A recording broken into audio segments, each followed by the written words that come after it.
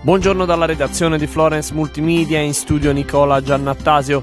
Traffico regolare su tutta la rete stradale ed autostradale della regione toscana. Fare attenzione per il maltempo, ci sono nevicate in corso sui passi delle statali appenniniche, neve prevista sul tratto appenninico della A1 e sulla A15 tra Fornovo e Pontremoli sulla Fipili vento forte lungo tutto il percorso. Personale su strada per lavori tra Livorno Aurelia e Livorno Porto in direzione Livorno.